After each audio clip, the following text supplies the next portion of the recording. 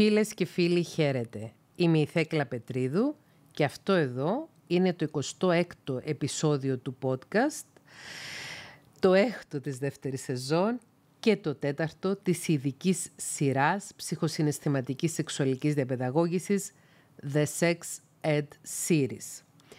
Το σημερινό επεισόδιο είναι λίγο διαφορετικό από το προηγούμενο και νομίζω ότι θα σας φανεί αρκετά ενδιαφέρον και στους νεότερους και στους μεγαλύτερους. Υπενθυμίζω ότι τα επεισόδια του podcast γενικότερα και τα επεισόδια της σειράς ψυχοσυναισθηματικής σεξουαλικής διαπαιδαγώγησης απευθύνονται τόσο σε εφήβους όσο και σε ενήλικες. Το σημερινό επεισόδιο έρχεται να μας κάνει το εξής ερώτημα. Εσύ είσαι καλός, είσαι καλή στο σεξ; Τι σημαίνει να είναι κάποιος καλός στο σεξ; Σε αυτό το επεισόδιο θα προσπαθήσω να περιγράψω πώς βλέπω ως ψυχολόγος και ως ένας μικροκοινωνικός επιστήμονας και που έχω δει στην κλινική πράξη χιλιάδες ανθρώπους αλλά και που έχω μελετήσει τη σχετική βιβλιογραφία τι σημαίνει στην πραγματικότητα ή στην πράξη η σεξουαλική επάρκεια, η ερωτική επάρκεια και η συναισθηματική επάρκεια στο σεξ. Καταρχάς ξεκινούμε βάζοντας το εξής δεδομένο, το οποίο κανονικά θα έπρεπε να ήταν δεδομένο. Είναι δεδομένο με την έννοια του ότι από εκεί ξεκινάει η ε, ανακάλυψη της οποιασδήποτε ικανότητας, δυνότητας, επάρκειας οποιοδήποτε ανθρώπου στο σεξ, ότι ο κύριος σκοπός του σεξ είναι η ευχαρίστηση. Θα το επαναλάβω. Ο κύριος σκοπός του σεξ είναι η ευχαρίστηση. Όλων. Είτε του ενός ανθρώπου ο οποίος κάνει σεξ μόνος του διαμέσω του αυνανισμού ή της αυτοικανοποίησης, είτε των δύο ανθρώπων που συνήθως συμμετέχουν σε αυτό. Τις περισσότερες φορές που γίνεται σεξ σε αυτό τον πλανήτη, είτε είναι ένας άνθρωπος μόνος του, είτε είναι δύο άνθρωποι μαζί. Ο κύριος σκοπός της σεξουαλικής πράξης είναι η ευχαρίστηση. Η σεξουαλική λειτουργία του ανθρώπου είναι στην ουσία ένας μηχανισμός ο οποίος μας δίνει τη δυνατότητα να χαρούμε, να διασκεδάσουμε, να ψυχαγωγηθούμε, Πώς έλεγαν οι παλιοί ότι παλιά κάναμε πολλά παιδιά γιατί δεν είχαμε την τηλεόραση και περνούσαμε ευχάριστα τα βράδια μέσω του σεξ. Στη σημερινή εποχή που έχουμε τόσες πολλές γνώσεις και για τη σύλληψη και για την αντισύλληψη που περιγράψαμε στο προηγούμενο επεισόδιο, μπορούμε πλέον οι άνθρωποι να χρησιμοποιούμε το σεξ ως ένα μέσον για να ψυχαγωγηθούμε, να διασκεδάσουμε, να ευχαριστηθούμε να βάλουμε στη ζωή μας ευχάριστες στιγμές. Το ξαναλέω, ο κύριος σκοπός του σεξ είναι η ευχαρίστηση.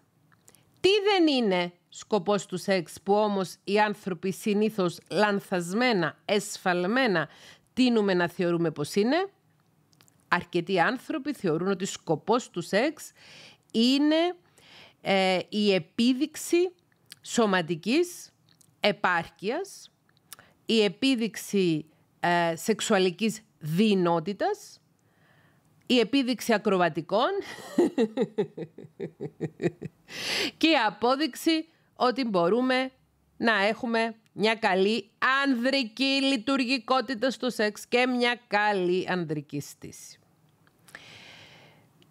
Είναι μια πραγματικότητα ότι στην εποχή μας που βρισκόμαστε ακόμη στην πατριαρχική κοινωνία, παρόλο που σε αρκετά σημεία η πατριαρχία πνέει τα λίστια, εξακολουθεί να είναι πατριαρχική η δομή της κοινωνίας μας, ακόμη και η δομή της επιστήμης είναι σε μεγάλο βαθμό πατριαρχική, πλην ελαχίστων εξαιρέσεων τα τελευταία χρόνια.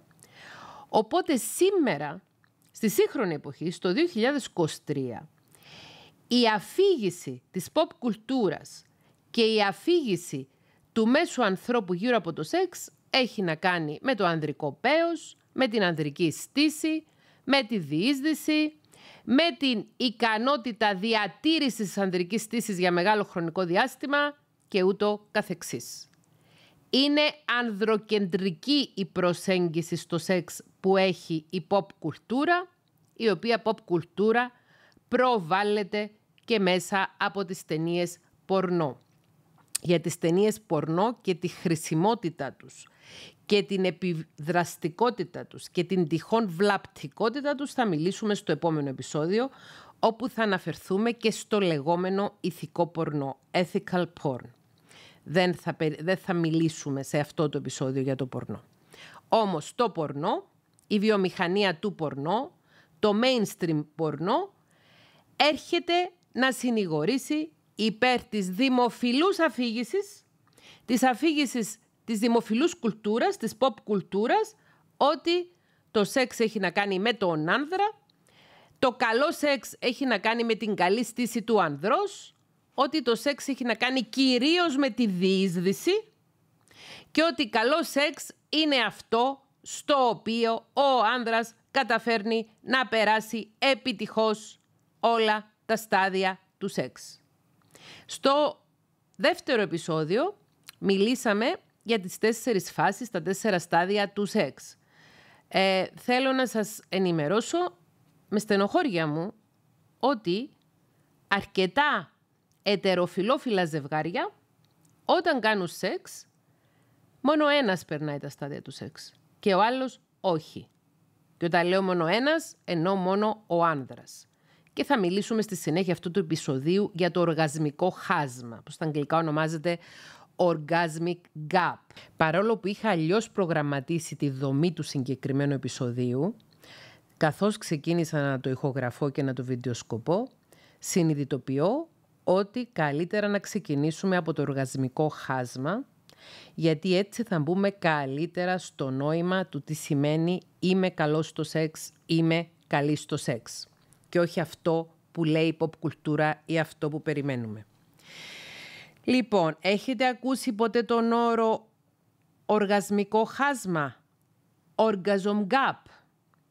Τι είναι το οργασμικό χάσμα; Έχει βρεθεί μέσα από σωρία μελετών ότι όταν ένα ετεροφιλόφιλο ζευγάρι κάνει σεξ, όταν δύο άνθρωποι με διαφορετικά γεννητικά όργανα, ένας άνθρωπος με πέος και ένας άνθρωπος με κόλπο, κάνουν σεξ, έχει βρεθεί από έρευνες και στατιστικά στοιχεία ότι ο άνδρας, το άτομο που έχει πέος, κατά πάσα πιθανότητα θα έχει οργασμό σε μία σεξουαλική συνέβρεση.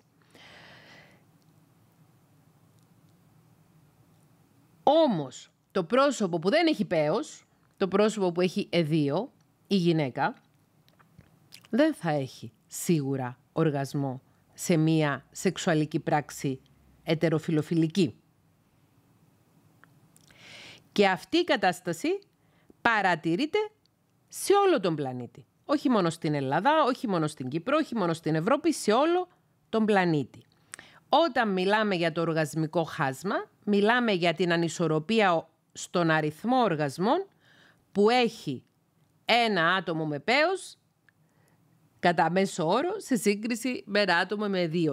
Σε μία μελέτη στην οποία συμμετείχαν πάνω από 50.000 άνθρωποι, το 95% των ετεροφιλόφιλων ανδρών είπαν ότι έχουν συνήθως ή πάντα οργασμό όταν κάνουν σεξ με γυναίκες ενώ μόνο το 65% των ετεροφιλόφιλων γυναικών είπαν ότι έχουν ε, πάντα ή σχεδόν πάντα οργασμό όταν κάνουν σεξ με άντρες. Σε αυτή τη μία μελέτη, στην οποία συμμετείχαν 50.000 άνθρωποι από όλο τον κόσμο, οι άντρες είχαν οργασμό 95 φορές κάθε 100 φορές που έκαναν σεξ με γυναίκα και οι γυναίκες στις 100 φορές που έκαναν σεξ με άντρα στις 65 είχαν οργασμό και στις άλλες 35 δεν είχαν. Μια άλλη μελέτη έχει δείξει ότι το 92% των γυναικών φτάνουν σε οργασμό ή κορύφωση όταν κάνουν σεξ με τον εαυτό τους κατά τη διάρκεια της αυτοικανοποίησης. Το 92% είναι πάρα πολύ ψηλό, εξίσου ψηλό με το 95% των ετεροφιλόφιλων ανδρών που έρχονται σε οργασμό όταν κάνουν σεξ με μια γυναίκα με βάση τα ευρήματα αυτής της μελέτης.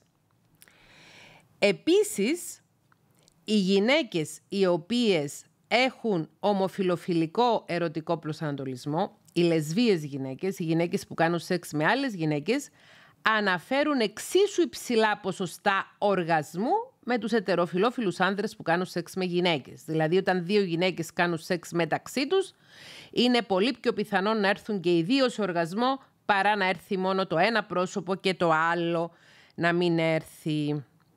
Σε μια άλλη μελέτη, στην οποία συμμετείχαν πάνω από 12.000 φοιτητές, μόνο το 10% των γυναικών είπαν ότι είχαν οργασμό στην πρώτη σεξουαλική επαφή με κάποιον και μόνο 68% ότι είχαν οργασμούς στη σεξουαλική πράξη με έναν μακροχρόνιο σύντροφο. Δηλαδή, όταν γίνεται σεξ για μια βραδιά ή σεξ για ένα απόγευμα ή ε, πώς λέγεται στα ελληνικά, όταν γίνεται μια ξεπέτα, οι άνδρες 95% έχουν πιθανότητα να έχουν οργασμό και οι γυναίκες 10%. Ενώ σε μια μακροχρόνια σχέση, σε μια σχέση που είναι δεσμευμένοι οι δύο σύντροφοι μεταξύ τους και γνωρίζουν καλά ένας τον άλλον και δεν, είναι, δεν υπάρχει αυτό το στοιχείο πάω να κάνω σεξ με έναν άνθρωπο που δεν γνωρίζω ή με έναν άνθρωπο που θα είναι μόνο σεξ και δεν υπάρχει συνέστημα και δεν υπάρχει δέσμευση, όπως είναι το hook-up ή η ξεπέτα όπως λέγεται στην ε, δημοτική, σε εκείνες τις περιπτώσεις οι άντρες εξακολουθούν να έχουν ψηλά ποσοστά οργασμού, οι γυναίκες όμως έχουν πάρα πολύ χαμηλά, 10%. Δηλαδή είναι απίθανο για μια γυναίκα η οποία θα πάει με έναν άνδρα να κάνει σεξ για μια βραδιά να έχει οργασμό και είναι εξαιρετικά πιθανόν για έναν άνδρα που θα πάει να κάνει σεξ με μια γυναίκα για μια βραδιά να έχει οργασμό.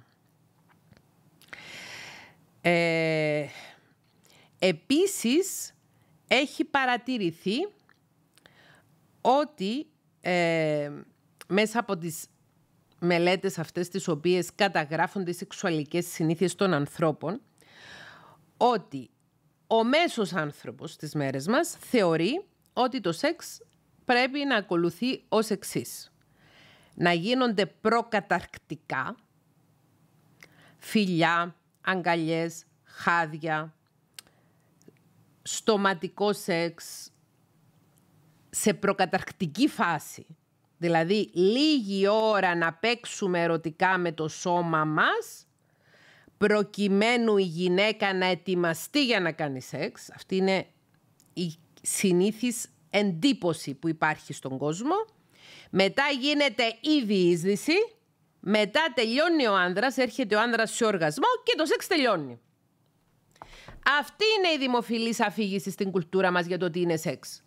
Δύο άνθρωποι αγκαλιάζονται, αρχίζουν να έρχονται κοντά ο ένας στον άλλον και αν ρωτήσετε, αν κάνετε κι εσείς μια δική σας έτσι άτυπη στατιστική, πόση ώρα πρέπει να διαρκούν τα προκαταρκτικά, καταρχάς ελάχιστοι άνθρωποι θα σας πούν ότι ποιος είπε ότι το στοματικό σεξ ή τα παθιασμένα φιλιά ή τα χάδια δεν αποτελούν από μόνα τους σεξουαλική πράξη και πρέπει οπωσδήποτε να έχουμε διείσδυση για να ονομαστεί αυτό σεξουαλική πράξη και τα υπόλοιπα να τα ονομάζουμε προκαταρκτικά.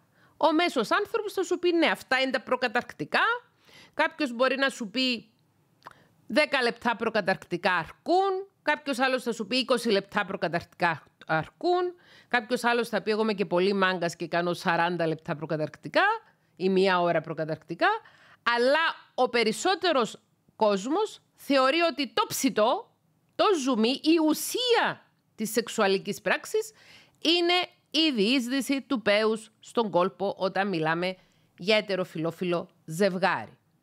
Κάτι το οποίο είναι η βασικότερη αιτία για το οργασμικό χάσμα ανάμεσα στα δύο φύλλα.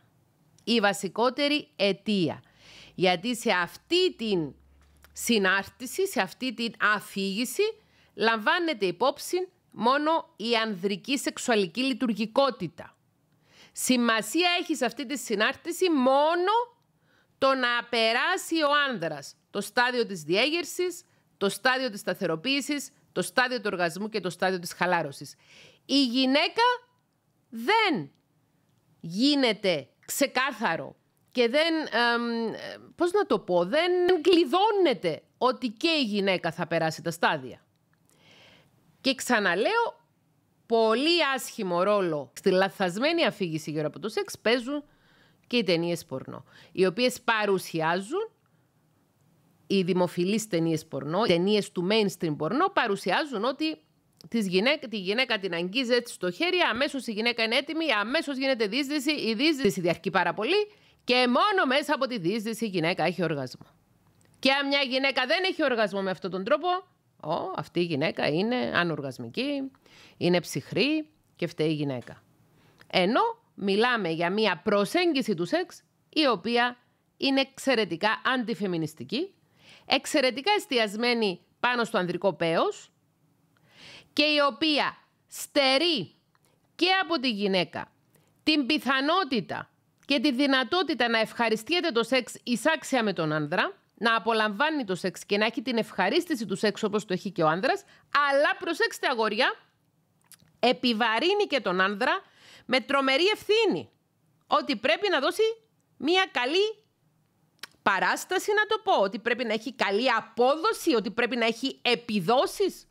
Γιατί αν το σεξ έχει να κάνει μόνο με το Α ας κάνουμε λίγα προκαταρκτικά, ενώ την ίδια ώρα που κάνουμε προκαταρκτικά, εγώ που είμαι άντρας, έχω μέσα στο μυαλό μου, μα τώρα θα μου σηκωθεί και θα, θα έχω καλή στήση. Γιατί δεν είναι σε όλους τους άνδρες, δεν είναι κάθε φορά, δεν είναι σε όλες τις ηλικίες το ίδιο εύκολο να επέλθει μια καλή στήση, μια σταθερή στήση που να διαρκέσει αρκετή ώρα, ούτως ώστε να γίνει αυτή η επίδοση. Άρα και οι άνδρες αγχώνονται και πιέζονται και καταπιέζονται και οι γυναίκες το ίδιο. Κάπου το έχουμε χάσει, κάπου το έχουμε βγάλει από την πραγματική του φύση το σεξ. Κάπου το έχουμε εκτροχιάσει. Πάμε λοιπόν να συνεισφέρουμε όσο γίνεται ώστε να βάλουμε το σεξ στις φυσικές του διαστάσεις. Η αλήθεια είναι ότι αυτή η δημοφιλής αφήγηση που ανέφερα προηγουμένως για το πώς πρέπει να γίνεται το σεξ, που αφορά κυρίως στην ανδρική λειτουργικότητα και στις ανδρικές αποδόσεις, αδικεί και τους άνδρες, όπως έχω προαναφέρει. Και δεν είναι καθόλου παράξενο που οι σχετικές έρευνες δείχνουν ότι οι άνδρες νιώθουν περισσότερη ευχαρίστηση και περισσότερη ικανοποίηση και νιώθουν ότι είναι καλύτεροι στο σεξ όταν η σύντροφος τους έρχεται σε οργασμό κατά τη διάρκεια του σεξ. Ρωτήστε ε, τον εαυτό σας εάν είστε άνδρας, ρωτήστε έναν άνθρωπο που γνωρίζετε άλλον που είναι άνδρας, που έχει ενεργή σεξουαλική ζωή, αν προτιμά να κάνει σεξ με μια γυναίκα η οποία να μην έρχεται σε οργασμό ή με μια γυναίκα που να έρχεται σε οργασμό. Η, η συντριπτική πλειοψηφία των άνθρωπων θα σας πούν ότι είναι πολύ πιο ικανοποιητικό και για μένα το σεξ όταν βλέπω τη σύντροφο μου, τη γυναίκα, την παρτενέρ μου στο σεξ να το απολαμβάνει και να έρχεται σε οργασμό. Και γι' αυτό ακριβώς το λόγο πολλές γυναίκες δυστυχώς προσποιούνται οργασμούς κατά τη διάρκεια της σεξουαλικής πράξης, σκεπτόμενες ότι θα πληγώσουν, θα προσβάλλουν τον σύντροφό τους, θα τον κάνουν να νιώσει άσχημα αν αυτές δεν έρθουν στον οργασμό. Και δυστυχώς οι μελέτες δείχνουν ότι μεταξύ 53% και 85% των ετεροφιλόφιλων γυναικών παραδέχονται ότι μπορεί να προσποιούνται οργασμό. Οπότε το οργασμικό χάσμα γίνεται ακόμη βαθύτερο, όχι από άποψη καταγραφής, αλλά από άποψη γεφύρωσης. Γιατί αν έχουμε δύο ανθρώπους, έναν άνδρα και μία γυναίκα που κάνουν σεξ, ο άνδρας έρχεται σε οργασμό και είναι εύκολο να αποδειχθεί ότι έρχεται σε οργασμό γιατί ο ανδρικός οργασμός συνοδεύεται από την εξπερμάτιση.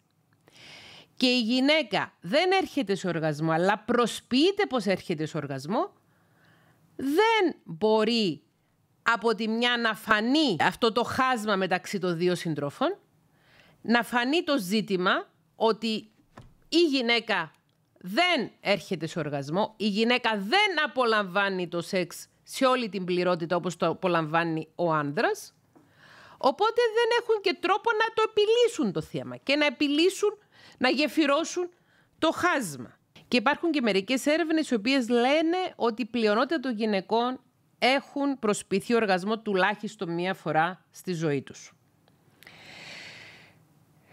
Πρέπει να καταλάβουμε ότι η δημοφιλής πεποίθηση ότι είναι πολύ δύσκολο μια γυναίκα να έρθει σε οργασμό και είναι πολύ εύκολο ένας άνδρας να έρθει σε οργασμό είναι καταφανώς λανθασμένη. Οι γυναίκες έχουν παρόμοιες σεξουαλικές δυνατότητες με τους άνδρες και όπως εξηγήσαμε στο δεύτερο επεισόδιο του Sex Ed Series, μία γυναίκα μπορεί να έχει και πολλαπλούς οργασμούς κατά τη διάρκεια μίας σεξουαλικής επαφής. Δηλαδή, από την ώρα που ξεκινάει η διέγερση, ε, η σταθεροποίηση του άνδρα ε, και να φτάσει στον οργασμό, μία γυναίκα μπορεί να έχει δύο, τρεις, τέσσερις, πέντε κύκλους σε εκείνο το χρονικό διάστημα που παίρνει στον άνδρα. Ή όταν τελειώσει ο κύκλος του άνδρα, είπαμε ότι μετά που έρχεται ένας άνδρας σε οργασμό ακολουθεί μια περίοδος στην οποία ξεκουράζεται το σώμα και δεν μπορεί αμέσως να ξαναμπεί σε σεξουαλική διέγερση στην πρώτη φάση του σεξ, στη δεύτερη, στην τρίτη κλπ. Το refractory period όπως λέγεται στα αγγλικά. Σε εκείνη την περίοδο, εάν ο άνδρας έχει τις γνώσεις τόσο της γυναικείας ανατομίας όσο και της γυναικείας λειτουργικότητας μπορεί να συνεχίσει να κάνει σεξ με τη σύντροφο του χωρίς διείσδυση με τη χρήση του στόματος, του, της αφής και η γυναίκα να έχει ξανά τη φάση διέγερσης σταθεροποίησης, οργασμού και χαλάρωσης. Ίσα ίσα δηλαδή που ο γυναικείος οργανισμός μπορεί πιο εύκολα να έχει μία σεξουαλική εμπειρία μετά την άλλη.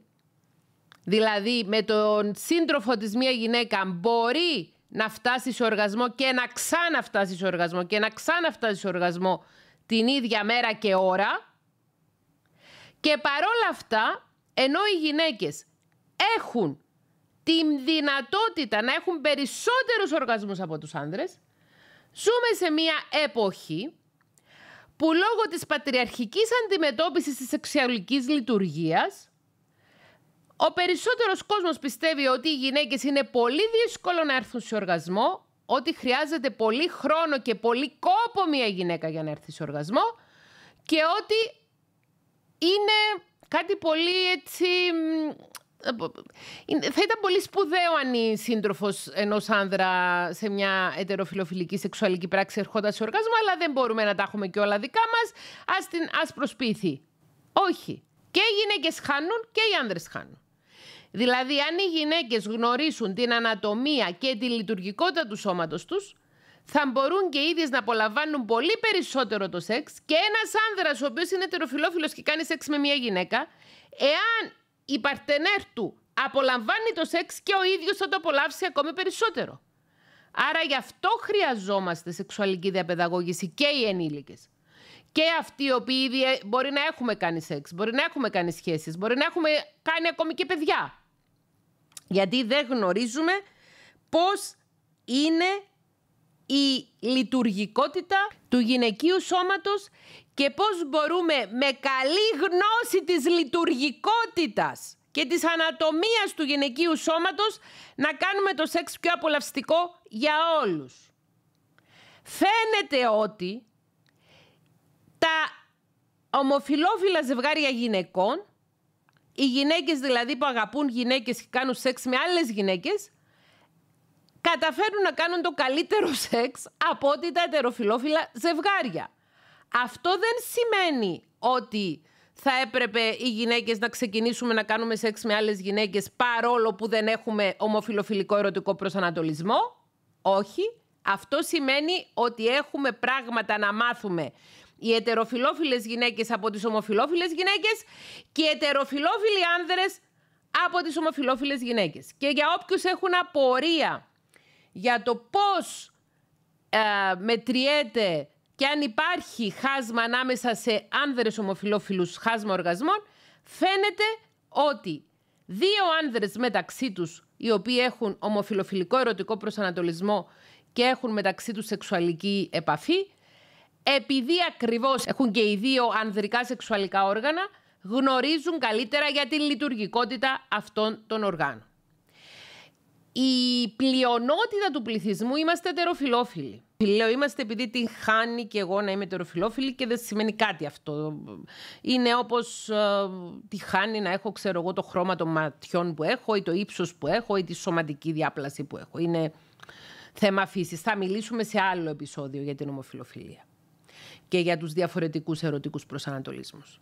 Όμως, οι ετεροφιλόφιλοι άνθρωποι που αποτελούμε και την πλειότητα του πληθυσμού, φαίνεται ότι έχουμε πολλά πράγματα να μάθουμε από τους ομοφιλόφιλους ανθρώπους και κυρίως το ότι πρέπει να γνωρίζουμε καλά τη λειτουργικότητα του σώματος του ανθρώπου με τον οποίο κάνουμε σεξ. Δεν φτάνει να ξέρεις μόνο τη δική σου λειτουργικότητα και τώρα μιλάω και για τις ετεροφιλόφιλες γυναίκες που υπάρχει μεγάλο ταμπού στην κοινωνία για τις γυναίκες οι οποίες προσπαθούν να ανακαλύψουν τη λειτουργικότητα του σώματος τους και προσπαθούν να μάθουν πώς λειτουργεί το σώμα τους και μέσω της αυτοικανοποίησης. Είτε μας αρέσει είτε όχι, στην κοινωνία μας είναι πιο απογορευτικό στην κοινωνική αφήγηση, στην pop κουλτούρα, το να αυτοικανοποιείται μια γυναίκα παρά να αυτοικανοποιείται ένας άνδρας.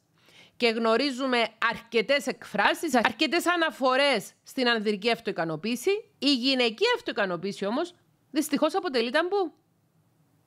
Και είναι και αυτό κάτι το οποίο πρέπει να το σκεφτούμε. Όταν λέω ότι έχουμε πολλά να μάθουμε από τους ομοφιλόφιλους ανθρώπους, δεν εννοώ να αντιγράψουμε ε, τον ερωτικό τους προσανατολισμό. Ο ερωτικός προσανατολισμός είναι κάτι που το έχει ο άνθρωπος. Είτε το έχεις να είσαι ετεροφιλόφιλος, είτε δεν το έχεις. Είτε το έχεις να είσαι ομοφιλόφιλος, είτε δεν το έχεις. Λέω να αντιγράψουμε αυτό ακριβώς που αυτοί έχουν από τη φύση, ότι γνωρίζουν το σώμα του άλλου ανθρώπου επειδή έχουν τα ίδια σεξουαλικά όργανα, να το αντιγράψουμε κι εμείς και να μάθουμε οι μεν ετεροφιλόφιλες γυναίκες να μάθουμε πώς λειτουργεί το σώμα του άνδρα, οι δε ετεροφιλόφιλοι άνδρες να μάθουν πώς λειτουργεί το σώμα της γυναίκας, αλλά και οι ετεροφιλόφιλες γυναίκες να μάθουμε πώς λειτουργεί το σώμα μας, γιατί πολύ λίγες από εμάς γνωρίζουμε τη λειτουργικότητα του σώματός μας. Και παρόλο που στην κοινωνία μας υπάρχει τεράστια έλλειψη σεξουαλικής διαπαιδαγώγησης, οι λίγες γνώσεις που έχουμε είναι περισσότερο για την ανδρική σεξουαλική λειτουργικότητα παρά για τη γυναικεία. Αυτά περί οργασμικού χάσματος. Έχω σημειώσει 10 σημεία τα οποία είναι χρήσιμα για να μας βοηθήσουν να απαντήσουμε στο ερώτημα αν είμαστε καλοί στο σεξ, αν είσαι καλός στο σεξ, αν είσαι καλή στο σεξ και να μας δώσουν ιδέες για το πώς μπορεί να καλυτερεύσουμε στο σεξ, να γίνουμε καλύτεροι στο σεξ. Για να είναι ένας άνθρωπος, άνδρας ή γυναίκα καλός στο σεξ, το πρώτο, πρώτο, πρώτο στοιχείο που χρειάζεται είναι να έχει συναισθηματική επάρκεια συνδεσιμότητας. Τι σημαίνει αυτό; Σημαίνει να έχει αρκετά αναπτυγμένη συναισθηματική νοημοσύνη, ώστε να μπορεί να επικοινωνήσει και να συνδεθεί σε συναισθηματικό επίπεδο με έναν άλλο άνθρωπο. Μπορεί το σεξ να αποτελεί μία λειτουργία του οργανισμού και μάλιστα μια πρωτόγονη λειτουργία, όμως επειδή δεν ζούμε πλέον σε πρωτόγονες κοινωνίες, στις οποίες το σεξ συνέβαινε συνέχεια όλη την ημέρα, Έχουμε πει χαρακτηριστικά, αν θυμάμαι καλά, στο πρώτο επεισόδιο του The Sex Ed Series ότι τόσο συχνά όσο κάνουμε εμείς χειραψία οι πρωτόγονοι άνθρωποι έκαναν σεξ και δεν υπήρχε καθόλου ο θεσμός του ζευγαριού, της μονογαμικότητας και του ρομαντικού έρωτα. Στη σημερινή εποχή που ζούμε, με την εξέλιξη της κοινωνίας, της κουλτούρας, του πολιτισμού, της τεχνολογίας, στην εποχή μας, για να μπορέσουμε να κάνουμε καλό σεξ με έναν άνθρωπο, πρώτα απ' όλα πρέπει να μπορούμε να συνδεθούμε συναισθηματικά με αυτόν τον άνθρωπο. Και όταν λέω να συνδεθούμε συναισθηματικά δεν εννοώ κατά ανάγκη να δημιουργήσουμε μια ερωτική σχέση, να παντρευτούμε και μετά να κάνουμε σεξ. Δεν είναι αυτό που εννοώ. Εννοώ ακόμη και στην περίπτωση που δύο άνθρωποι συμφωνήσουν μεταξύ τους ότι θα έχουν μία σεξουαλική επαφή η οποία θα είναι περιορισμένη μέσα στα πλαίσια μίας κατάστασης, situationship λέγεται στα αγγλικά. Ο όρος situationship στα αγγλικά ε, αναφέρεται σε μια συνθήκη στην οποία οι άνθρωποι είναι φίλοι με προνόμια ή κάνουν σεξ χωρίς δεσμεύσεις. Η λέξη relationship σημαίνει σχέση, relate σημαίνει συνδέομαι, situation σημαίνει κατάσταση, άρα situationship είναι μια κατάσταση, δεν είναι ακριβώς σχέση, αλλά είναι δύο άνθρωποι οι οποίοι κάνουν μία συμφωνία μεταξύ τους ότι θα κάνουν σεξ μεταξύ τους και δεν θα έχουν ακριβώς σχέση, αλλά θα έχουν αυτή την ανταλλαγή σεξουαλικής ενέργειας. Ακόμη και ένα situationship να κάνεις, ακόμη και μία ξεπέτα να κάνεις, δεν θα μπορέσεις να το κάνεις καλά αν δεν έχεις επάρκεια συναισθηματική ώστε να μπορείς να συνδέεσαι σε ένα ανθρώπινο επίπεδο. Να μπορείς να συνομιλήσεις με τον άλλον άνθρωπο. Να μπορείς να επικοινωνήσεις τι θέλεις. Να μπορείς να είσαι ανθρώπινος. Να μπορείς να είσαι ευγενικός, ευγενική να μπορείς να συνδεθείς με το άλλο πρόσωπο έστω και για λίγο χρόνο, αλλά να μπορείς ουσιαστικά να συνδεθείς. Σκεφτείτε ότι αν ένας άνθρωπος έχει κατεβασμένα μούτρα, αν ένας άνθρωπος είναι ξινός, αν ένας άνθρωπος δεν μιλιέται, πώς μπορεί αυτός ο άνθρωπος να κάνει σεξ με έναν άλλον άνθρωπο; Ενώ σεξ με συνένεση, που να συμφωνούν και οι δύο άνθρωποι θέλουν να κάνουν σεξ μεταξύ τους. Πώς μπορείς να νιώσεις διέγερση, πώς μπορείς να αφήσεις τον εαυτό σου να λειτουργήσει το σώμα σου φυσιολογικά και να λειτουργήσει η σεξουαλική σου λειτουργία, αν έχεις απέναντι σου έναν άνθρωπο ο οποίος δεν χαμογελάει, δεν μιλάει, δεν δείχνει ικανοποίηση, δεν δείχνει ευχαρίστηση και ούτω καθεξής. Σε αυτό το σημείο θέλω να πω ότι ακούω αρκετά συχνά ως ψυχολόγος ότι κάποιοι άνθρωποι μπορεί να προχωρούν στο να κάνουν σεξ με έναν άλλον άνθρωπο, είτε τον ή την σύντροφό τους, είτε κάποιον άνθρωπο με τον οποίο κάνουν περιστασιακά σεξ, χωρίς να θέλουν πραγματικά, αλλά επειδή νιώθουν άβολα να πούν όχι. Χρειάζεται και θα κάνουμε και ξεχωριστό επεισόδιο για τη συνένεση, Χρειάζεται να το αντιληφθούμε αυτό το πράγμα, να το εντυπώσουμε στον εγκέφαλο μας ότι δικαιούμαι να πω όχι. Ακόμη και αν έχω συμφωνήσει να έρθει σπίτι μου ένας άνθρωπος, να πάω εγώ στο σπίτι ενός άλλου ανθρώπου, προκειμένου να περάσουμε μια βραδιά στην οποία να γίνει και σεξ, αν εγώ άνδρας ή γυναίκα, σε ετεροφιλόφιλη ή ομόφιλη σχέση, νιώσω ότι δεν θέλω ενώ είπα θα έρθω να το κάνω, δεν θέλω, δικαιούμαι να πω συγγνώμη, αλλά μου έχει φύγει η διάθεση και δεν είμαι σε θέση να κάνω σεξ.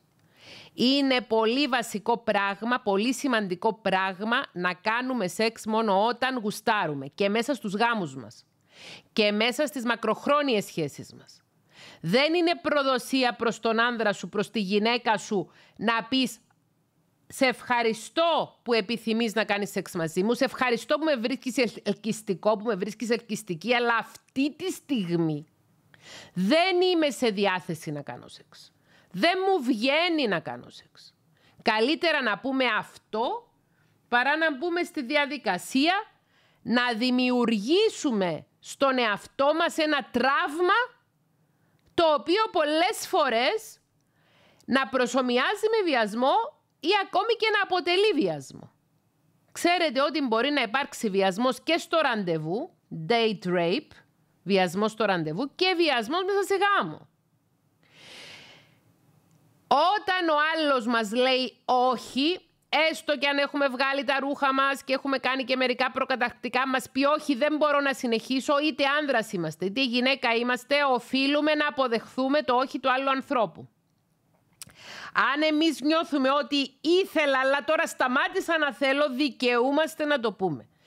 Και μιλάω τώρα ειδικά για τα νέα τα παιδιά που παρακολουθούν αυτό το βίντεο, για τους εφήβους που παρακολουθούν αυτό το βίντεο.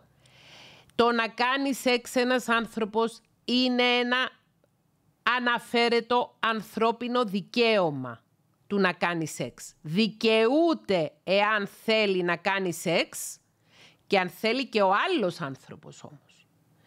Αν θα κάνεις σεξ με τον εαυτό σου, αν θα αυτοικανοποιηθείς, δεν χρειάζεσαι συνένεση. Χρειάζεται να το θέλεις εσύ και να πας κάπου ε, μόνος σου να το κάνεις ή μόνη σου να το κάνεις. Εάν θα κάνεις σεξ με άλλον άνθρωπο όμως δεν φτάνει μόνο να θέλεις εσύ, πρέπει να θέλει και ο άλλος άνθρωπος.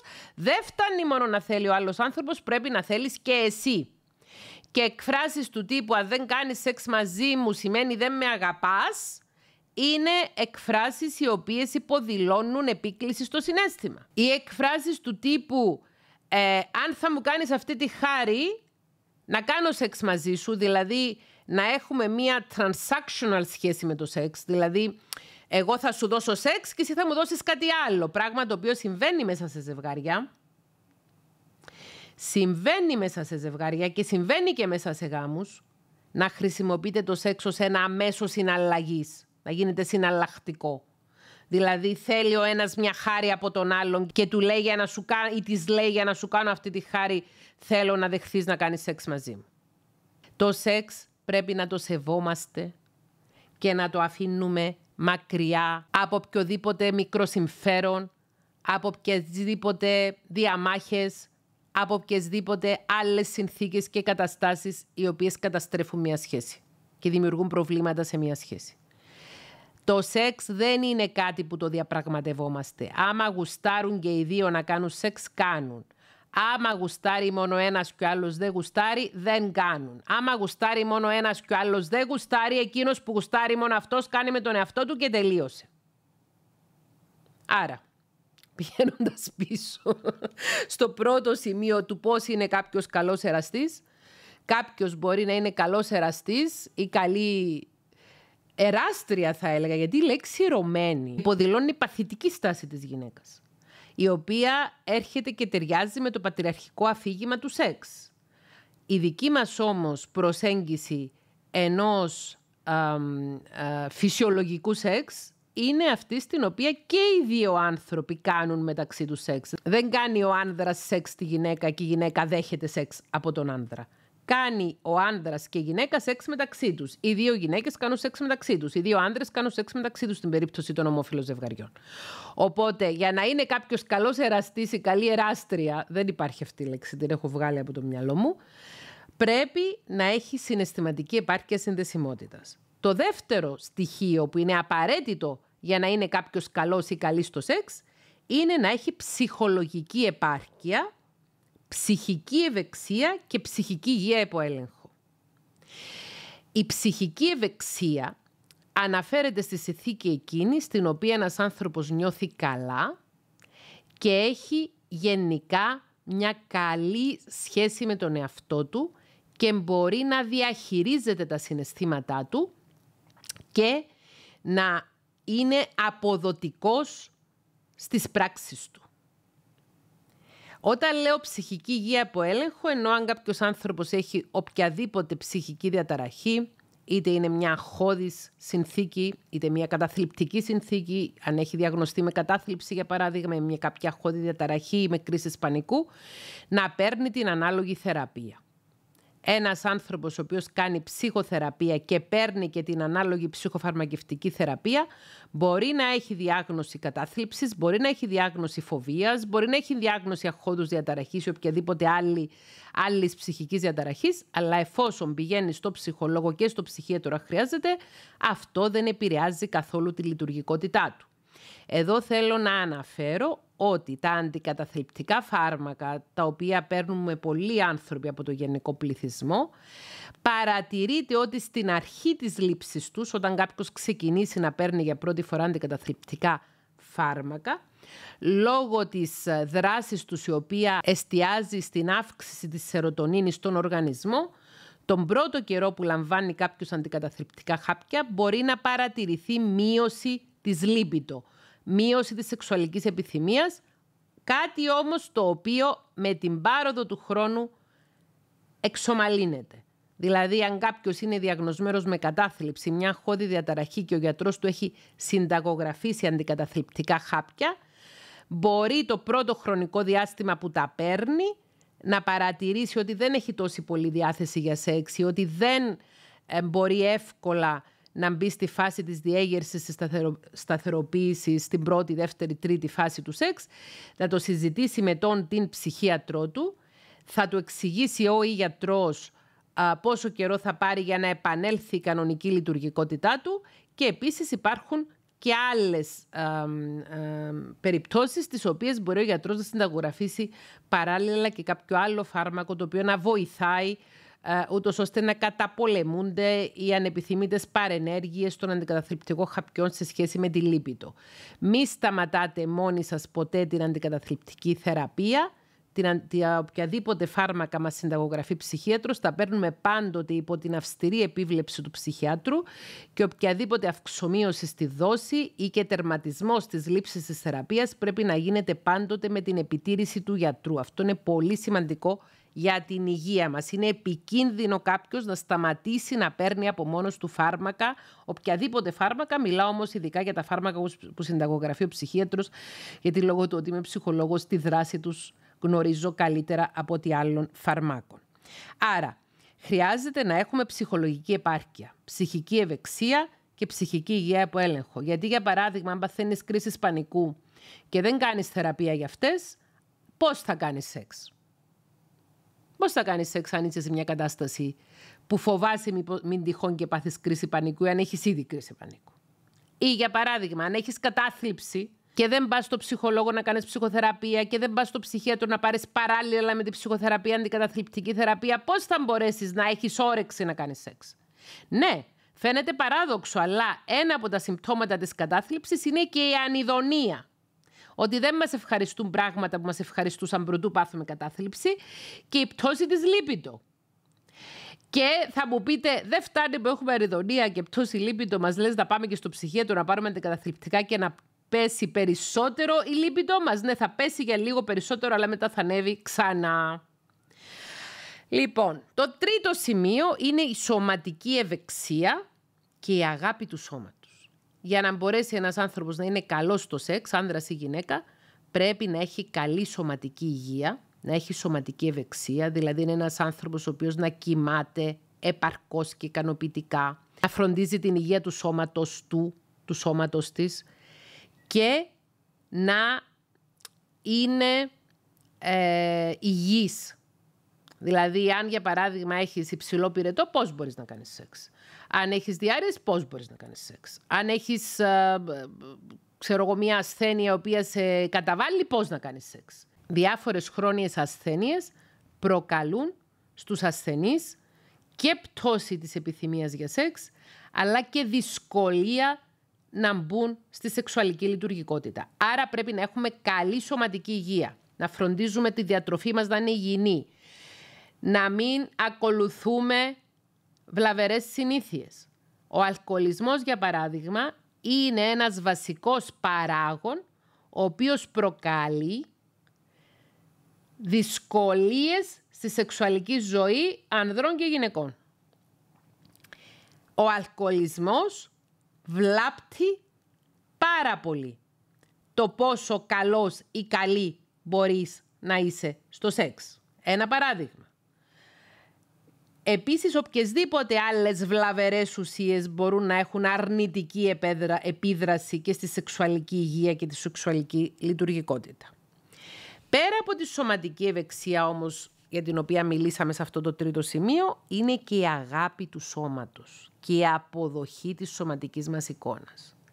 Αν οι άνθρωποι δεν νιώθουμε καλά με την εξωτερική μας εικόνα, αν δεν αγαπάμε τη φάτσα μας, το σώμα μας, τα γεννητικά μας όργανα, αν δεν μας αρέσει η εμφάνισή μας, αν έχουμε μέσα στο μυαλό μας την ιδέα ότι δεν είμαστε όμορφοι, δεν είμαστε ελκυστικοί, δεν είμαστε ωραίοι και δεν μας αρέσει εμάς το σώμα μας, δεν θα μπορέσουμε να είμαστε καλοί στο σεξ. Ξέρω ότι αυτό είναι μια απλή πρόταση, μια απλή ε, ε, άποψη να την πω και είναι και πάρα πολύ δύσκολο να εφαρμοστεί. Υπάρχει άμεση σχέση μεταξύ ε, αρνητικής εικόνας σώματος και δυσκολίας του ανθρώπου να απολαύσει το σεξ. Πολύ συχνά ακούω από γυναίκες ότι ντρέπονται για το σώμα τους επειδή μπορεί να έχει κυταρίτιδα, επειδή μπορεί να έχει ραγάδες, επειδή μπορεί να έχουν λιγότερα κιλά ή μπορεί να έχουν περισσότερα κιλά ή μπορεί ε, να μην είναι ιδιαίτερα ψηλές ή δεν ξέρω τι.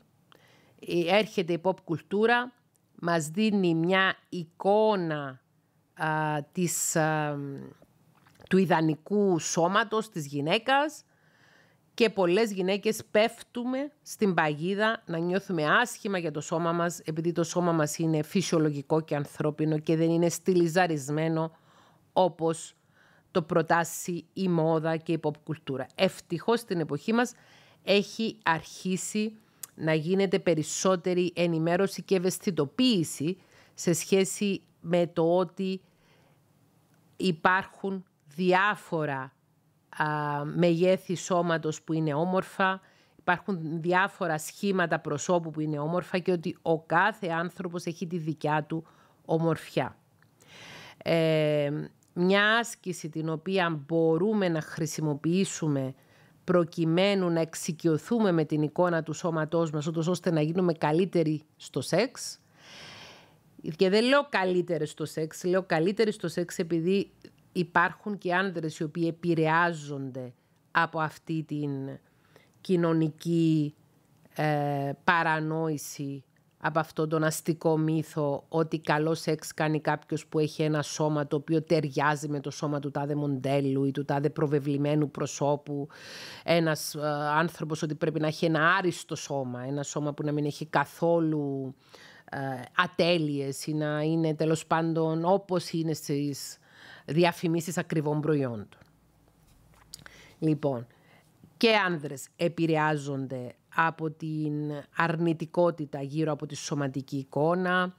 Ε, οι άνδρες παλιότερα είχαν λιγότερες ανασφάλειες σε σχέση με την εμφάνισή τους, όμως η pop κουλτούρα έχει καταφέρει να εξισώσει τα φύλλα και έτσι και αρκετοί άνδρες στις μέρες μας νιώθουν άσχημα για την εξωτερική τους εμφάνιση. Είναι λυπηρό αυτό, όχι ότι είναι λυπηρό επειδή ακριβώς οι άνδρες νιώθουν άσχημα. Είναι λυπηρό που και άνδρες και γυναίκες επηρεαζόμαστε από μια αφήγηση η οποία δεν έχει σχέση με τη φύση του ανθρώπου, αλλά έχει σχέση με τη διαφήμιση, έχει σχέση με την πολιτική, έχει σχέση με την αποδυνάμωση των ανθρώπων, έχει σχέση με την προώθηση του μάρκετινγκ των βιομηχανιών αδυνατίσματος και ούτω καθεξής ή των βιομηχανιών ομορφιάς Οπότε όλο και περισσότεροι άνθρωποι στη σύγχρονη εποχή μπαίνουν μια βόλτα στο Instagram ή πάνε μια βόλτα σε ένα παραλιακό μαγαζί και αρχίζουν να νιώθουν άσχημα για τον εαυτό τους, για το σώμα τους, για το πρόσωπο τους, για την εμφάνιση τους, για τυχόν ρητίδες, για τυχόν περισσότερα κιλά, λιγότερα κιλά, περισσότερα μαλλιά, λιγότερα μαλλιά και ούτω καθεξής. Είναι μύθος ότι το πώς μοιάζει το σώμα σου εξωτερικά και τι χαρακτηριστικά έχει στο πρόσωπο σου επηρεάζει το πόσο καλός ή καλή είσαι στο σεξ. Το σώμα σου όπως είναι, το πρόσωπο σου όπως είναι, μπορεί να κάνει και καλό σεξ και κακό σεξ.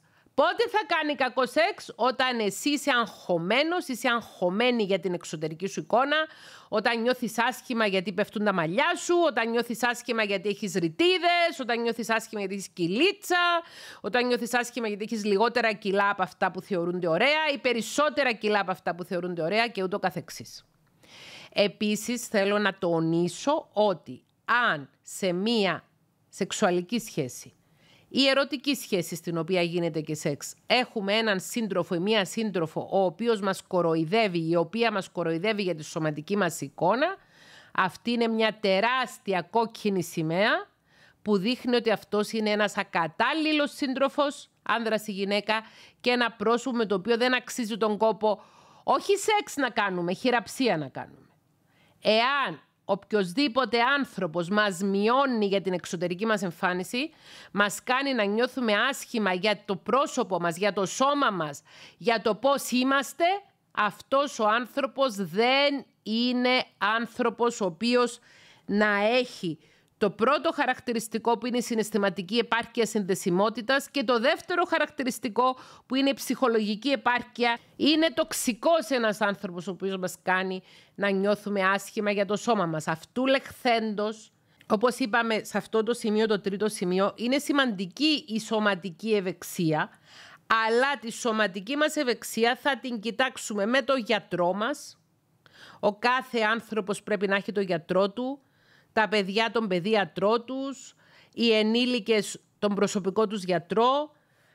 Εάν έχουμε ζητήματα ε, είτε με περισσότερο βάρος είτε με λιγότερο βάρος από αυτό που θεωρείται αναμενόμενο για την περίπτωση μας πηγαίνουμε σε κάποιον ενδοκρινολόγο. Οι ενδοκρινολόγοι είναι η κατεξοχήν ειδικότητα της ιατρικής που ασχολείται με ζητήματα σωματικού βάρους και ακούμε τις συμβουλές των γιατρών μας και των ειδικών δεν θα μου πει κανένας άλλος εκτός από τον ειδικό πώς να φροντίζω το σώμα μου.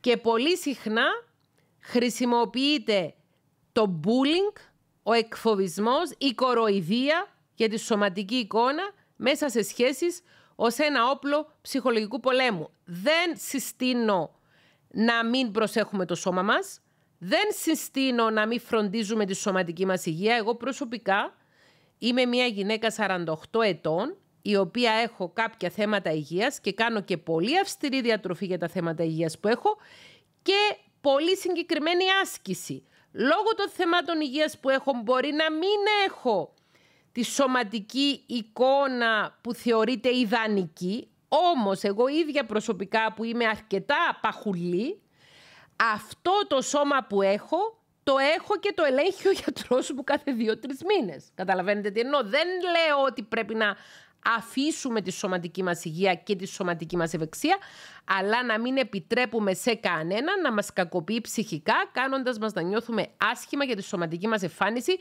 και να μην κακοποιούμε ψυχικά εμείς ήδη τον εαυτό μας, νιώθοντας άσχημα για τη σωματική μας εμφάνιση και να μην μπορούμε να λειτουργήσουμε στη σεξουαλική πράξη.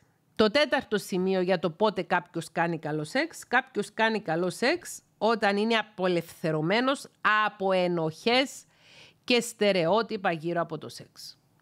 Τις ενοχές μας τις προκαλεί το θρησκευτικό υπόβαθρο της κοινωνίας μας, ακόμη και αν εμείς ήδη δεν είμαστε θρήσκοι, η κοινωνία μας είναι επηρεασμένη από τη θρησκεία. Ο κοινωνικός συντηρητισμός προκαλεί ενοχές, η έλλειψη γνώσεων προκαλεί ενοχές, η έλλειψη σεξουαλικής διαπαιδαγώγησης προκαλεί ενοχές και τα κοινωνικά στερεότυπα σε σχέση με το σεξ πάνε και έρχονται. Δυστυχώς, σε μια κοινωνία όπως τη δική μας, μια κοινωνία εξαιρετικά συντηρητική από τη μια και από την άλλη ψεύτοπροοδευτική κατά τη γνώμη μου πάντα, Υπάρχουν διάφορες απόψεις, οι οποίες είναι εξαιρετικά βλαβερές τόσο για τους άνδρες όσο και για τις γυναίκες και οι οποίες έχουν αρνητική επίδραση και στο πόσο καλοί μπορούν να είναι στο σεξ ή όχι.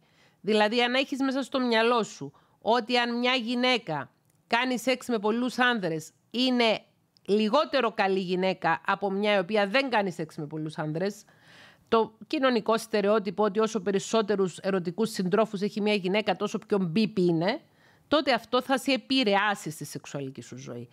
Αν έχεις μέσα στο μυαλό σου το κοινωνικό στερεότυπο ότι ένας άνδρας με όσο περισσότερες γυναίκες πάει, τόσο πιο άντρας είναι, αυτό μπορεί να σε επηρεάσει στη σεξουαλική σου ζωή. Και εδώ θέλω να σας πω ότι ως ψυχολόγος που έχω δουλέψει για πολλά χρόνια με ζευγάρια, έχω συναντήσει ζευγάρια τα οποία δεν είχαν πολλούς ερωτικούς συντρόφους, ούτε ο ένας ούτε ο άλλος, αλλά είχαν εξαιρετικά καλή σεξουαλική ζωή, επειδή είχαν συναισθηματική υπάρκεια και συνδεσιμότητα, ε, ψυχολογική ευεξία, σωματική υγεία και αγάπη σώματος και αγάπη αναμεταξύ τους και πραγματική διάθεση για να μάθουν γύρω από το σώμα τους και γύρω από το σεξ. Δηλαδή, ούτε το να πιστεύουμε ότι αν κάνουμε σεξ με πολλούς ανθρώπους αυτό μας κάνει κακούς ανθρώπους, που αυτό είναι ένα στερεότυπο που πάει στις γυναίκες, ότι μια γυναίκα δεν είναι καλή γυναίκα αν πάει με πολλούς άντρε, ούτε το να πιστεύουμε ότι πρέπει να πάμε με πολλές γυναίκες για να είμαστε καλό εραστή είναι κάτι που μας βοηθάει. Το με πόσους ανθρώπους θα πάει ένας άνθρωπος ανεξαρτήτως φίλου και ερωτικού προσανατολισμού δεν έχει να κάνει με την ποιότητα του ως ανθρώπου. Έχει να κάνει με τις συνθήκες της ζωής του, με τις περιστάσεις. Δεν μπορούμε να το γνωρίζουμε αυτό. Δεν υπάρχει καμία επιστημονική μελέτη η οποία να έχει κάτσει κάτω ε, ξέρω εγώ, 10.000 γυναίκες να έχει μετρήσει με πόσους άνδρες ή με πόσες γυναίκες έχει πάει κάθε μία, γιατί υπάρχουν και ομοφυλόφιλοι άνθρωποι. Και να πει ότι όσο πιο λίγους συντρόφους έχει μια γυναίκα, τόσο καλύτερο χαρακτήρα έχει. Δεν υπάρχει τέτοια μελέτη. Πρόκειται για κοινωνικό στερεότυπο. Πρόκειται για βλαβερή κοινωνική προκατάληψη. Όπως επίσης υπάρχουν άλλες βλαβερές προκαταλήψεις του στυλ ότι αν μια γυναίκα είναι παρθένα μέχρι μια ηλικία, ξέρω εγώ, 25, 30, 40 ετών, αυτό την κάνει να μην είναι κατάλληλη για να κάνει σεξ και άμα κάνει σεξ δεν θα κάνει καλό σεξ. Και ότι ένας άνδρας δεν πρέπει να είναι παρθένος πάνω από μια άρφα ηλικία. Και το αντίστοιχο για έναν άνδρα. Και κάτω από τα βίντεο μου στο YouTube. Μπορείτε να βρείτε το κανάλι μου στο YouTube πληκτρολογώντας είτε το όνομά μου Θέκλα είτε και το επίθετο μου μαζί Θέκλα Πετρίδου. Είναι εύκολο να βρει κάποιος τα βίντεο στο YouTube. Έχω διαβάσει φοβερά σχόλια κάτω από τα βίντεο αυτά του The Sex Ed Series. Σχόλια τα οποία λένε για περιπτώσεις τις οποίες ακόμη και υποτιθέμενοι ειδικοί ψυχικής υγείας αναμεταδίδουν τέτοια εξαιρετικά επικίνδυνα και λανθασμένα στερεότυπα και προκαταλήψεις. Άρα για να είμαι καλός στο σεξ πρέπει να είμαι απελευθερωμένος από ενοχές και στερεότυπα γύρω από το σεξ. Και αν βρίσκουμε τον εαυτό μας ότι έχουμε ενοχική σχέση με το σεξ πρέπει οπωσδήποτε να κάνουμε ψυχοθεραπεία. Η ψυχοθεραπεία θα μας βοηθήσει ιδιαίτερα στο να ξεπεράσουμε οποιαδήποτε ενοχικά ζητήματα έχουμε γύρω από το σεξ. Μέσα από την κλινική μου πείρα έχω γνωρίσει γυναίκες σε μεγάλη ηλικία, τώρα μου έρχεται μια συγκεκριμένη περίπτωση στο μυαλό, μια κυρία 65 ετών, η οποία είχε έρθει για θεραπεία ζευγαριού με τον σύζυγό της και σε κάποια φάση ο σύζυγος της ανέφερε ότι η γυναίκα του ήταν εξαιρετικά συντηρητική όσον αφορά τη σεξουαλική του σχέση και ότι δεν δεχόταν να έχουν σεξουαλική επαφή με τα φώτα αναμένα και ότι δεν δεχόταν να βγάλει όλα της τα ρούχα κλπ. Και, και τη ρώτησα. Τώρα μιλάμε, η περίπτωση αυτή έχει πάνω από 15 χρόνια. Τη ρώτησα, θα ήθελες να κάνουμε μαζί κάποιες συνεδρίες μόνοι σου, να μιλήσουμε για το σεξ; Και η γυναίκα δέχθηκε. Και παίρνοντας το ιστορικό αυτής της γυναίκας, αντιλήφθηκα ότι τόσο η γιαγιά της όσο και η μητέρα της της μετέδιδαν ένα σωρό ψευδείς πληροφορίες Τη μετέδιδαν ένα σωρό κοινωνικά στερεότυπα, μισογυνιστικά κοινωνικά στερεότυπα γύρω από το σεξ και ότι την είχαν μπλοκάρει αυτή τη γυναίκα, ώστε να μην μπορεί όχι απλώς να απολαύσει το σεξ, να μην μπορεί να μπει στη διαδικασία του να κάνει σεξ. Και η γυναίκα αυτή κατάφερε μετά από έναν αριθμό συνεδριών, κατάφερε να απελευθερωθεί και κατάφερε σε εκείνη την ηλικία των 65 ετών και μετά την εμμηνόπαυση, θα μιλήσουμε και για την εμμηνόπαυση στο podcast μας, και μετά την εμμηνόπαυση να έχει μια πολύ ικανοποιητική σεξουαλική ζωή και για την ίδια αλλά και για τον σύντροφό της. Εάν μπόρεσε εκείνη η γυναίκα στα 65, μετά από 65 χρόνια που είχε μέσα στο μυαλό της ένα σωρό στερεότυπα, προκαταλήψεις και ενοχές, μπορεί οποιαδήποτε γυναίκα και οποιοδήποτε άνδρας κάνοντας ψυχοθεραπεία να ξεπεράσει τα ενοχικά ζητήματα. Εδώ θέλω να πω ότι δεν βλέπω κόσμο πλέον. Είμαι αφιερωμένη μόνο στα βίντεο που ανεβάζω καθημερινά στο κανάλι μου στο YouTube, στα podcast που ανεβαίνουν κάθε πέμπτη από όπου ακούτε podcast και στα βιβλία που συγγράφω. Δεν το λέω αυτό για να μαζέψω πελατεία, δεν βλέπω κόσμο, αλλά ψάξτε να βρείτε ειδικούς οι οποίοι να έχουν μια περαιτέρω εξειδίκευση κιόλας γύρω από το σεξ. Εγώ δεν έχω ιδιαίτερη εξειδίκευση γύρω από το σεξ. Ε, έχω έρθει σε επαφή με μια συνάδελφο ψυχολόγο, η οποία έχει εξειδίκευση γύρω από το σεξ και έχουμε προγραμματίσει στο επόμενο διάστημα να κάνουμε και μαζί ένα επεισόδιο στο podcast για να τη ρωτήσουμε κάποια πράγματα. Ε, μπορούμε να ξεπεράσουμε αυτά τα ζητήματα των ενοχών, των κοινωνικών προκαταλήψεων κλπ. Το πέμπτο σημείο για να είναι κάποιος καλός στο σεξ ή καλή στο σεξ είναι να γνωρίζει καλά τη δική του ανατομία και την ανατομία του άλλου φίλου αν είναι ετεροφιλόφιλος ετεροφιλόφιλ. Την ανατομία του ανδρικού σώματος τη γνωρίζουμε λίγο περισσότερο από τη του γυναικείου. Θα αφιερώσουμε ένα επεισόδιο αποκλειστικά στο να μιλήσουμε για τη γυναικεία ανατομία. Θέλω εδώ να πω έτσι ε, εν περιλήψη ότι το βασικότερο σεξουαλικό όργανο της γυναίκας είναι η κλητορίδα, ότι η κλητορίδα δεν περιορίζεται μόνο στη μύτη, στην είσοδο του εδίου, εκείνο το σημείο της βαλάνου που βλέπουμε. Η κλητορίδα είναι ένα όργανο που όταν έρθει σε στήση μπορεί να είναι μέχρι και 10 και 12 εκατοστά σε μήκος και περιβάλλει τον κόλπο το πιο βασικό όργανο για να έρθει η γυναίκα σε στήση είναι η κλητορίδα. Η γυναικεία κλητορίδα πρέπει να έρθει σε στήση και η γυναικεία κλητορίδα είναι αυτή που δίνει το έναυσμα για τους γυναικείους οργασμούς. 95% των γυναικών σε σχετικά surveys, surveys είναι οι μελέτες τις οποίες απαντούν ερωτηματολόγια με, με εμπιστευτικότητα φυσικά οι άνθρωποι. 95% των γυναικών λένε ότι έχουν κλειτοριδικό οργασμό και μόνο ένα 5% των γυναικών αναφέρουν κολπικό οργασμό. Αλλά ακόμη και στις περιπτώσεις του κολπικού οργασμού εικάζεται από κάποιους επιστήμονες ότι το λεγόμενο σημείο G είναι προεκτάσεις της κλειτορίδος. Οπότε δεν μπορεί μία γυναίκα να διεγερθεί σεξουαλικά, να μπει στο πρώτο στάδιο του σεξουαλικού ενθουσιασμού και της σεξουαλικής διέγερσης, να μπει στο δεύτερο στάδιο της σταθεροποίησης του πλατό και να φτάσει στο τρίτο στάδιο του οργασμού αν δεν διεγερθεί η κλειτορίδα της.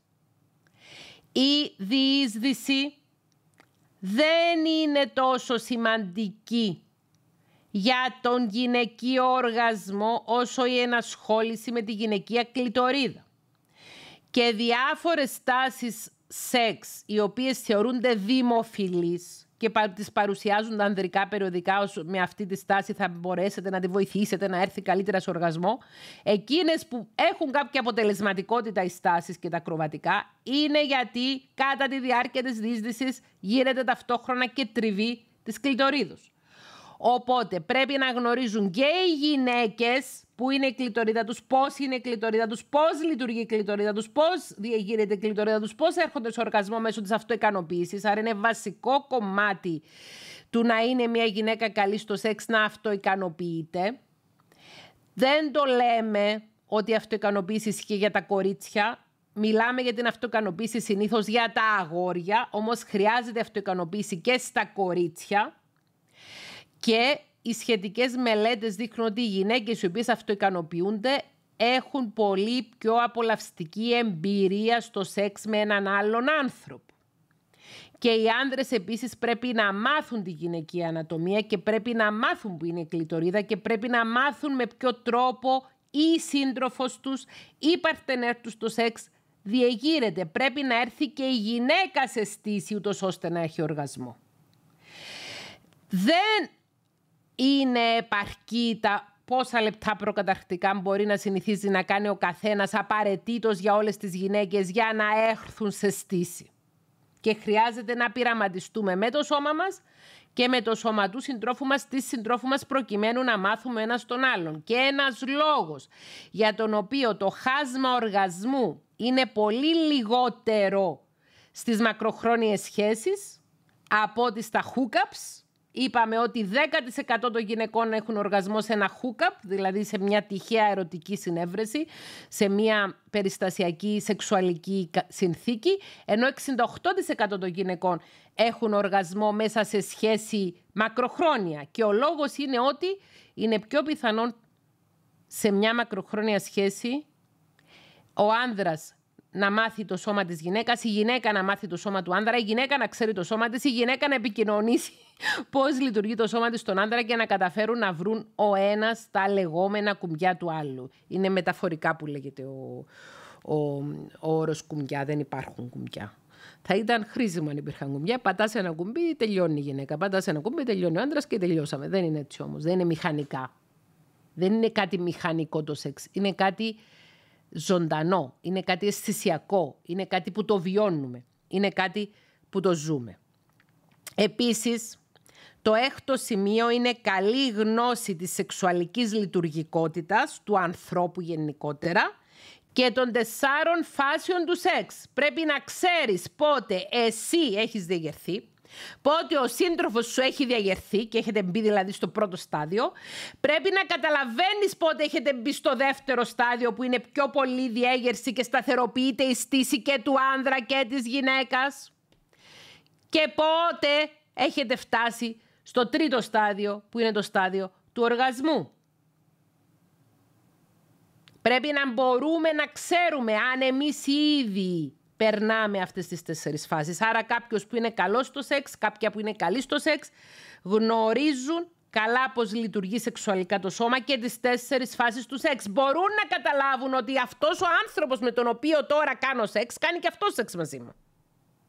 Αυτός ο άνθρωπος που τώρα διαπερνώ, αυτή η γυναίκα στην οποία, στις οποίες στον κόλπο κάνω διείσδυση, αυτή η γυναίκα βρίσκεται σε στήση. Θέλει συμμετέχει. Δεν είσαι καλός εραστής. Δεν είσαι καλός στο σεξ αν μπορεί να σε κοροϊδέψει η σύντροφός σου και να προσποιηθεί οργασμό και να πιστέψεις ότι είχε οργασμό χωρίς να έχει. Σημαίνει ότι δεν γνωρίζεις πώς λειτουργεί το σώμα της γυναίκας. Δεν γνωρίζεις τι σημαίνει μία γυναίκα σε διέγερση. Δεν γνωρίζεις τι σημαίνει να είναι κλειτορίδα της αισθήση. Δεν γνωρίζεις τι σημαίνει πώς είναι η συνθήκη του κόλπου της των εξωτερικών γενετικών οργάνων. Πώς είναι το σώμα της όταν συσπάται κατά τη διάρκεια του οργασμού. Δεν ξέρεις. Δεν είσαι καλός στο σεξ αν απλώς έχεις καλή στήση αν η στήση σου διαρκεί για όσο καιρό θέλεις και αν τελειώνεις όποτε θέλεις. Καλό στο σεξ έναν άνδρα. Και επίσης δεν κάνει καλή στο σεξ μια γυναίκα αν είναι καλή στο στοματικό και αν ικανοποιεί μέσω του στοματικού τον σύντροφό της και το βοηθάει να έχει μια καλή στήση και το βοηθάει να έρθει σε οργασμό με το στοματικό σεξ, αλλά η ίδια για τον εαυτό της δεν κάνει τίποτα. Και δεν ζητά κατά τη διάρκεια του σεξ να περάσει και αυτή από τις τέσσερις φάσεις. Και η έγνοια της είναι μόνο να περάσει ο άλλος. Δεν είναι καλή στο σεξ μια τέτοια γυναίκα. Μια γυναίκα η οποία κάνει σεξ με έναν άνδρα και η έγνοια της είναι μόνο να ευχαριστήσει τον άνδρα, δεν είναι καλή στο σεξ. Και έχουμε εξηγήσει γιατί. Γιατί ούτε η ίδια θα απολαύσει το σεξ και η μεγαλύτερη απόλαυση που μπορεί να έχει ένας άνθρωπος που κάνει σεξ με έναν άλλον άνθρωπο είναι να απολαμβάνουν και οι δύο. Δεν είσαι καλός στο σεξ αν η έγνοια σου είναι να ικανοποιήσει τον άλλο μόνο και δεν σε νοιάζει η δική σου λειτουργικότητα. Είτε άντρας είσαι είτε γυναίκα είσαι. Ισότητα στο σεξ. Ισοτιμία στο σεξ. Αυτά.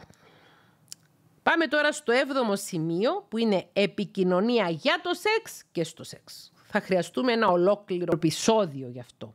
Ότι πρέπει να μάθουμε να μιλάμε ανοιχτά για το σεξ, χωρίς φόβο, χωρίς ταμπού, χωρίς προκαταλήψεις, με ένα λόγο ο οποίος να είναι ευγενικός, να είναι ένας λόγος και μια εκφορά του λόγου η οποία να βοηθάει να περάσουμε το μήνυμα στον άλλον άνθρωπο, όχι να τον προσβάλλουμε και να τον καταποντήσουμε. Να μπορούμε να επικοινωνούμε για το σεξ εκτός κρεβατιού είναι ιδανικό για τα ζευγάρια να κάνουν συζητήσεις για τη σεξουαλική τους ζωή σε φάση που δεν κάνουν σεξ, ούτως ώστε να μπορούν να μιλήσουν σε ένα θεωρητικό επίπεδο και να μεταφέρουν πράγματα, αλλά είναι επίσης σημαντικό και την ώρα του σεξ να μπορούμε να επικοινωνούμε στον στη σύντροφό μας τι θέλουμε και τι δεν θέλουμε, αυτό μου αρέσει κάντο, αυτό δεν μου αρέσει σταμάτα να το κάνεις. Θα κάνουμε ξεχωριστό podcast για την επικοινωνία στο σεξ. Η συνένεση είναι εξαιρετικά σημαντική και έχουμε μιλήσει σε αυτό το επεισόδιο ήδη για τη συνένεση. Είναι το 8ο σημείο συνένεση που έχω σημειώσει και το ένατο σημείο είναι ότι σημασία έχει το ταξίδι και όχι ο προορισμός. Αυτό που παίζει μεγαλύτερο ρόλο κατά τη διάρκεια του σεξ είναι οι δύο άνθρωποι να περάσουν καλά. Είτε φτάσουν σε οργασμό είτε όχι. Γιατί υπάρχουν και άνδρες οι οποίοι δυσκολεύονται να έρθουν σε οργασμό έχουν τη λεγόμενη καθυστερημένη εξπερμάτιση ή κάποιες άλλες διαταραχές εξπερμάτισης που θα μιλήσουμε σε ξεχωριστό επεισόδιο για αυτές. Και κάποιες γυναίκες μπορεί να μην μπορούν να έρθουν σε οργασμό στη συγκεκριμένη σεξουαλική φάση. Μπορεί. Παρόλο που έχουμε μιλήσει αρκετά για τον οργασμό σε αυτό το επεισόδιο, δεν είναι ο οργασμός αυτός καθ' αυτός όλο το σεξ. Η ουσία τους σεξ είναι ότι βγάζεις τα ρούχα σου και παίζεις με έναν άλλον άνθρωπο και ψυχαγωγείσαι, αγγίζεσαι, φιλιέσαι, αγκαλιάζεσαι και νιώθεις ωραία και κρίνεται ο κοιτοκίνη από τον εγκέφαλο σου η οποία σε βοηθάει να είσαι καλά.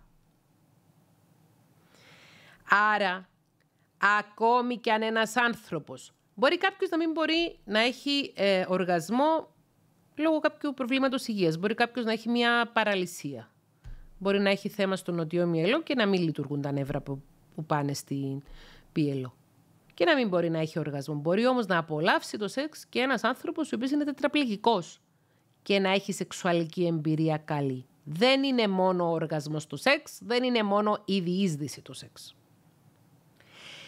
Και επίσης η οκιτοκίνη, η οποία ονομάζεται και ορμόνη της αγάπης, η οποία εκρίνεται κατά τη διάρκεια των λεγόμενων προκαταρκτικών, που τα προκαταρκτικά στην ουσία είναι σεξ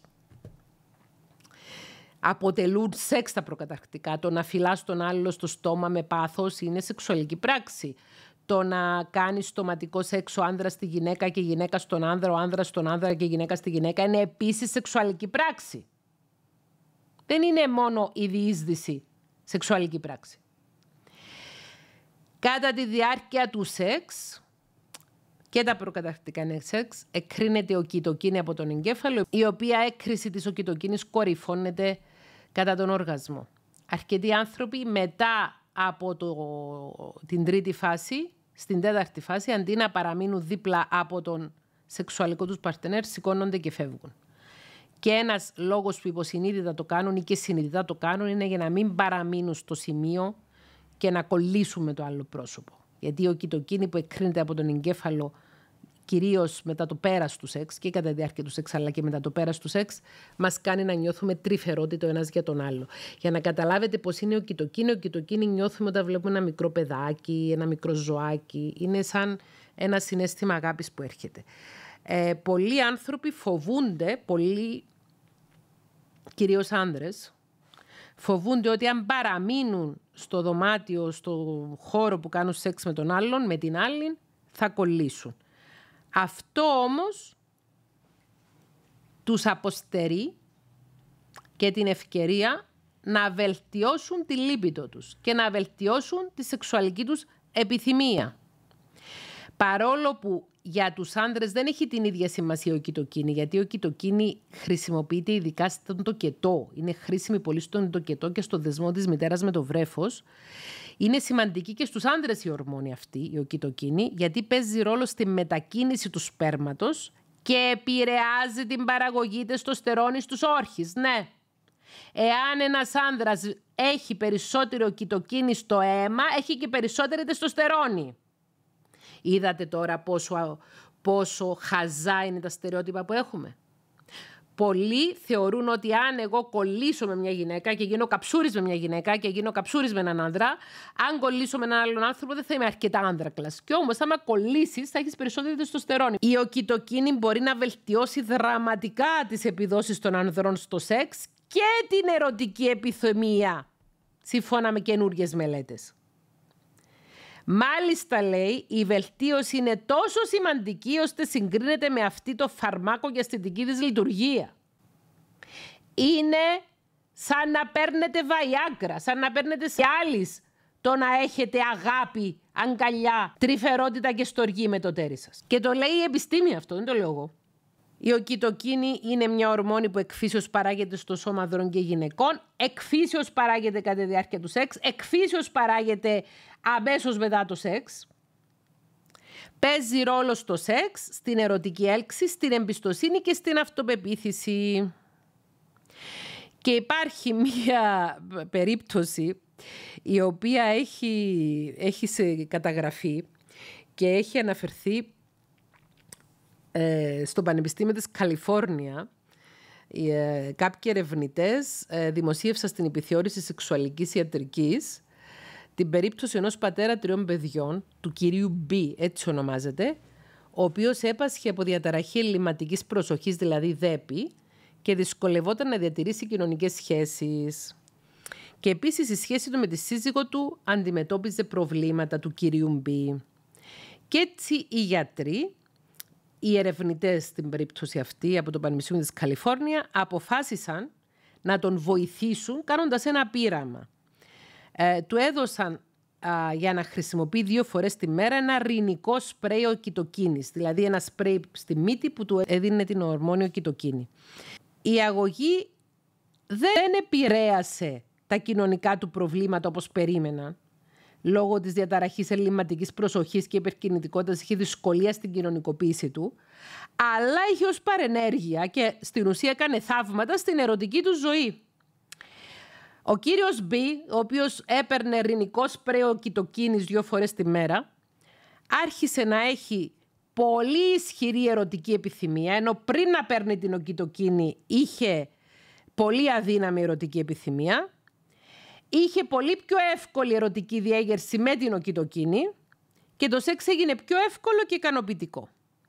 Και επίσης ο ίδιος αυτός ο κύριος Μπι, δεν το λένε οι ερευνητές στο όνομά του για ευνόητους λόγους, δήλωσε ότι παίρνοντας την οκυτοκίνη του ήταν πιο εύκολο να δείχνει τρυφερότητα στη γυναίκα του και εκείνη είπε ότι ο άνθρωπος έγινε πιο αγαπητικός, πιο τρυφερός. Λέει όμως ότι είχε και κάποιες παρενέργειες αυτό, γιατί αυτός ο κύριος Μπι λέει πήγαινε και αγκάλιαζε και τους συναδέλφους του α, στο γραφείο και είχε θέμα μετά με το HR.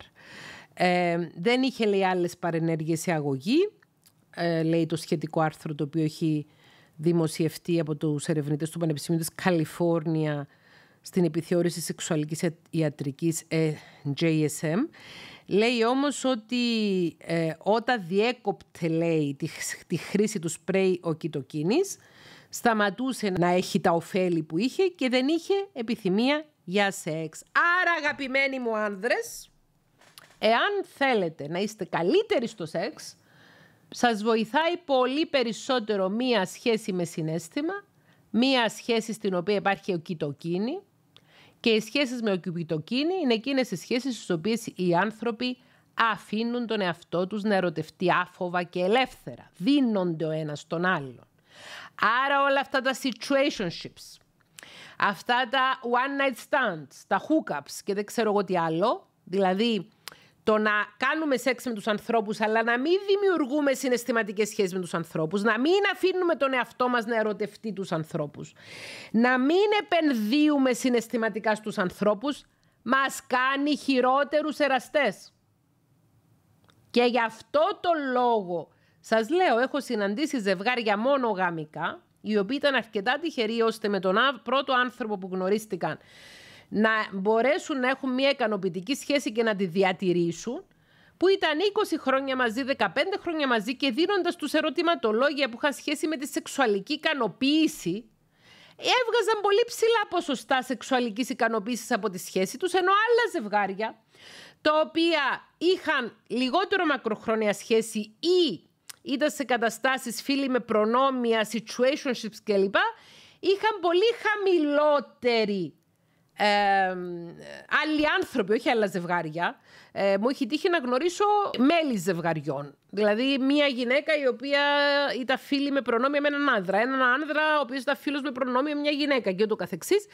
Άνθρωποι που δεν ήταν σε σχέση στην οποία να υποστηρίζεται το συναισθηματικό κομμάτι, να υπάρχει δέσμευση, να υπάρχει ο έρωτας, να υπάρχουν τα συναισθήματα, να υπάρχει ο κοιτοκίνη, δεν ικανοποιούνταν τόσο πολύ. Και εγώ σκέφτομαι αυτή τη στιγμή αν αξίζει τον κόπο πραγματικά, αν αξίζει τον κόπο να μπαίνουμε στη διαδικασία, να κάνουμε σεξ με ανθρώπους οι οποίοι μας λένε εκ των προτέρων ότι εγώ θέλω μόνο σεξ και δεν θέλω συνέστημα.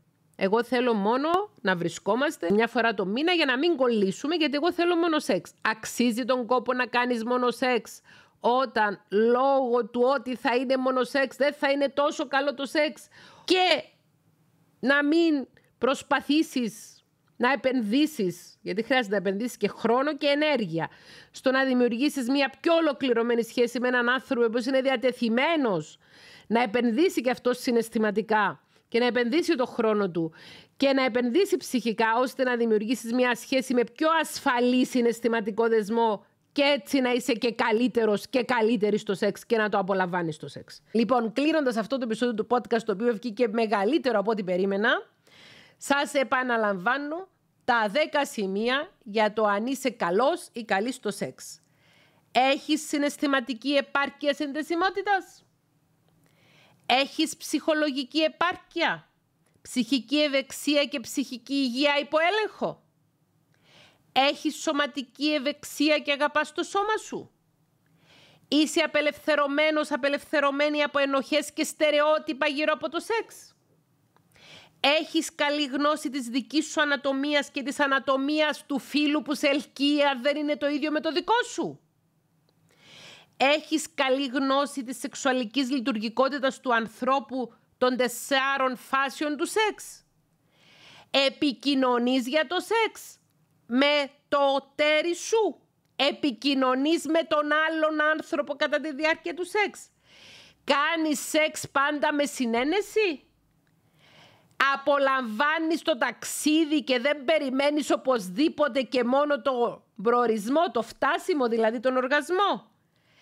επιτρέπεις να έχεις οκιτοκίνη στο αίμα σου. Αν απαντάς ναι σε όλες τις ερωτήσεις, είσαι σίγουρα καλός και καλής στο σεξ. Αν δεν απαντάς σε όλες, μπορεί πάλι να είσαι καλός ή καλής στο σεξ, αλλά να έχεις και χώρο και περιθώριο για βελτίωση. Στα σχόλια κάτω από το βίντεο αυτού του επεισοδίου του podcast στο YouTube θα πάρω, είμαι σίγουρη, περισσότερα ενάυσματα και για μελλοντικά επεισόδια, απορίες ή ακόμη και αντιθέσεις, γιατί όχι. Είμαι η Θέκλα Πετρίδου.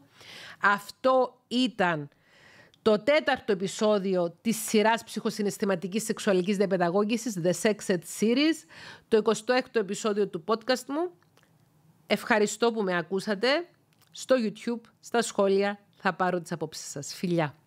Και είπαμε την επόμενη φορά θα μιλήσουμε για το πορνό. Το mainstream πορνό και το ηθικό πορνό. Και θα προσπαθήσουμε να απαντήσουμε σε απορίες γύρω από το πορνό. Για το αν είναι βλαβερό, αν είναι ωφέλιμο, αν οι έφηβοι πρέπει να παρακολουθούν πορνό και ούτω καθεξής. Σας χαιρετώ. Γεια.